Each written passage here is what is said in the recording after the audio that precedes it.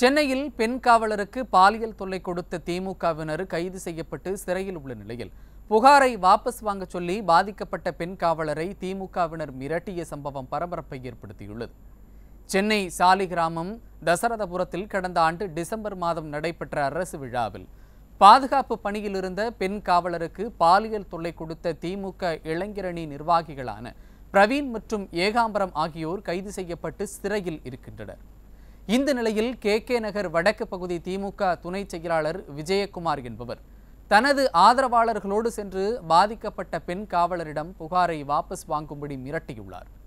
சமூக நீதி பெண் உரிமை பேசும் திராவிட மாடல் திமுக ஆட்சியில் அக்கட்சியின் பெண் எம்பிக்களான கனிமொழி தமிழச்சி தங்கபாண்டியன் கலந்து கொண்ட நிகழ்ச்சியிலேயே பெண் காவலருக்கு திமுகவினர் பாலியல் தொல்லை கொடுத்ததோடு மட்டுமல்லாமல் தற்போது புகாரை வாபஸ் வாங்கச் சொல்லி பெண் காவலரை மிரட்டிய சம்பவம் பொதுமக்களிடையே கடும் அதிர்ச்சியை ஏற்படுத்தியுள்ளது.